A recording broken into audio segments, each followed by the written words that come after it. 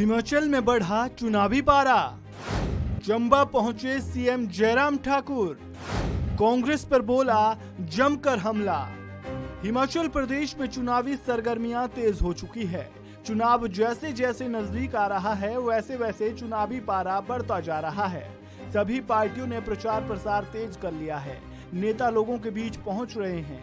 इसी कड़ी में हिमाचल प्रदेश के मुख्यमंत्री जयराम ठाकुर चंबा पहुँचे।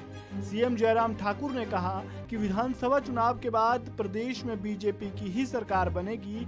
इसके अलावा मुख्यमंत्री ने दिल्ली में पीएम मोदी से हुई बातचीत का भी ज़िक्र किया। क्या कुछ कहा? सुनिए। निश्चित रूप से हिमाचल प्रदेश में भारतीय जनता पार्टी की सरकार बनेंगे।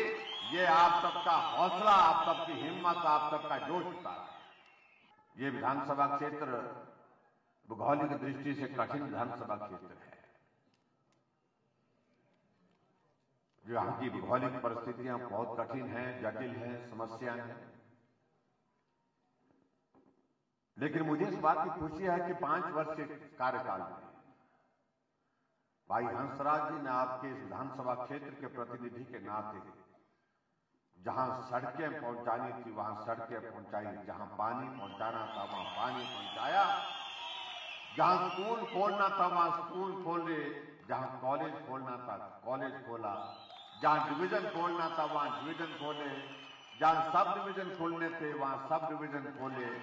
जहाँ तहसील खोलनी थी, वहाँ तहसील खुली। जहाँ स्वास्थ्य का संस्थान खुलना था, वहाँ स्वास्थ्य के संस्थान खुले। सीएम जयराम ठाकुर चंबा के चुराह में विजय संकल्प रैली को संबोधित करने पहुँचे थे। उन्होंने संबोधन में अपने दिल्ली दौरे का भी ज़िक्र किया। उन्होंने कहा कि जब मैं दिल्ली गया था तो पीएम मोदी ने आधे घंटे तक चंबा पर बात की। उन्हें चंबा के लोगों की फ़िक्र है।